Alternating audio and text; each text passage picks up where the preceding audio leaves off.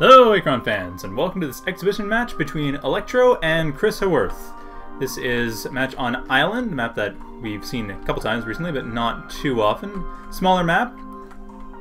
Each player has a main base with 6 LC and 3 QP, although 1 LC crate is inside of the box. And there are expansions spaced evenly around the map. So Electro is going for CESO, while Chris Haworth is going for Vecgir. Both players have chosen their race and just setting up their economy right now, very quickly. And once that's done, we will have our game going. Chris is starting out with 5 LCRPs. He hasn't built any 6th RP. He may not have finished that up. You can only queue 6 actions, but only 5 while paused, so you often see players queue up the first 5 RPs and then they have to queue up the next RP afterwards. But Chris has not queued up a 6th RP, so he is... Ah, I see. He is getting another Zion Veer. So attaching all this Veer together to the Shin Veer and sending them forward a bit.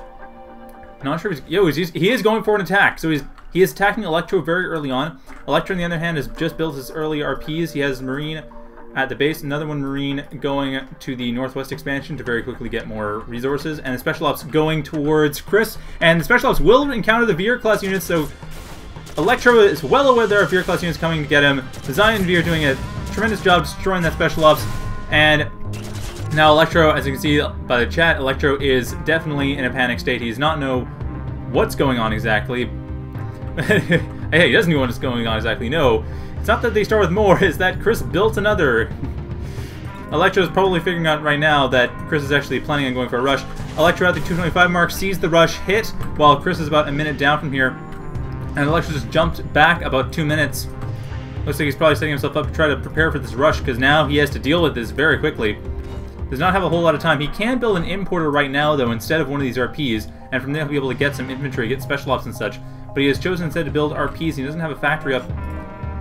He does not have a factory up in time to actually stop this, and he won't have a factory up in time to stop this either. So Chris is in a great spot right now. Chris, Chris's rush is going to be very effective because Electro is not changing up his strategy at all. He is not going for fast infantry to try to stop this.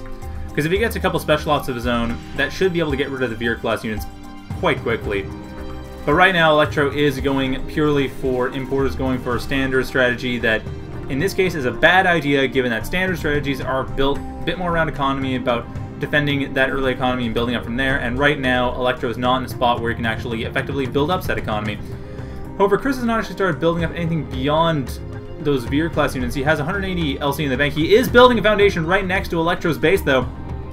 And Electro's going to have to deal with this. Electro getting a factory about 30 seconds before the attack hits, where the Veer class units hit, but that won't be nearly enough time. The Veers will be able to get there well in time to actually build this foundation and start attacking. So Electro's about half a minute down from here. And Chris doesn't look like he's changing around the way his strategy is set up. So Electro is going to be in a very tight spot right now. And infantry, he has built some more infantry. His marine is still up to the north, or yes, he has built another special ops. Fending off another Zion and now taking care of the, trying to take care of the Teth Veer, but, oh no, sorry, not the Zion that was the Shin Veer. They managed to kill the Shin Veer, so that's good. That means no more foundations will be built, except for that foundation itself, which can build additional foundations. However, second time around, it looks like Electro... Well, looks like Electro managed to get rid of everything but the Shin Veer. The Shin Veer is not actually building a foundation. Not sure if Chris was planning on going for the Foundation Rush. No, he is! He is, in fact, going for the Foundation Rush, and an ATC has been built. But this Foundation can't still... Actually, can't do anything right now. There's Auto Defense is not upgraded yet. So the Foundation is not totally useful. Electro may actually be able to defend this, but he's still in a tight spot. He still has to defend this. If he manages to defend this, then Chris is going to be behind, and Electro is going to actually have an advantage. We'll be able to counterattack and take advantage of the situation. He does have some RPs being built in the Northwest expansion, and he does have the infantry and ATC in his main base to help defend, help push away the Veers. But Chris has decided to get auto defense much earlier than before, and is now retreating slightly. He is not going to engage directly. He is going to keep himself a bit behind. This is right next to the unplayable pass, too, so this looks like what Chris is ultimately committing to. He's not going to be building the foundations right next to the base. He's going to be getting his Veer, Veer units together. At least not quite yet. He's getting, getting them together. I'm not sure if he's...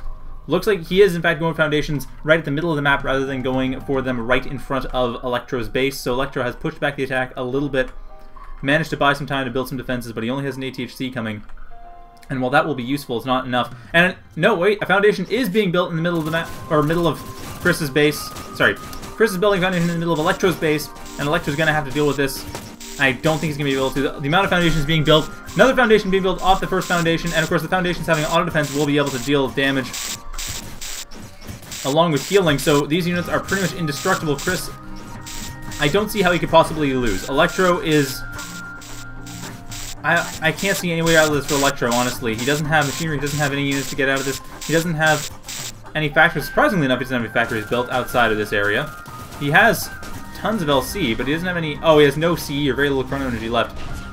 But even with two orders, he could build another couple factories and use those just to build... Well, even then, I'm not sure, honestly. The amount of units he'd have to build... I can't see him being able to get out of this. Honestly, I think this is this is a mistake early on. He really needed to have built the infantry earlier on, not go for the fast RPs, go for two or three RPs, and go for a couple importers. The infantry is all he really could have used to defend in time, and he does not have the time anymore to defend. Going for a mech, but that's going to be useless. The mechs are primarily anti-air. They have very weak anti-ground weapons. So I don't think Electro has any way out of this at this point. He really needed to have picked the right option well beforehand. I'm actually surprised he hasn't started building more infantry anyway.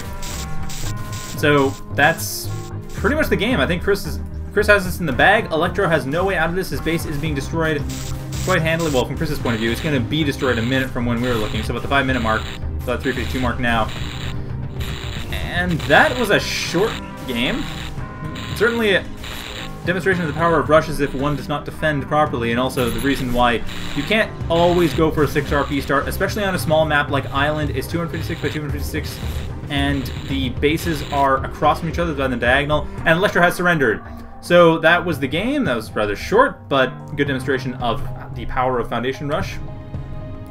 Too bad there was no effective counter to, to, it, though. Hopefully we'll see a game pretty soon with an effective counter to this rush.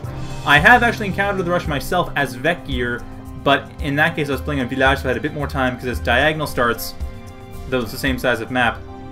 And I also scouted out the foundations much earlier on, and I built up some vehicles to help deal with this built-in design pulsers. But even that was a close game. Anyway, hopefully we will see players on here managing to figure out a counter strategy to this, because it's not impossible, but it just requires thinking on one's toes.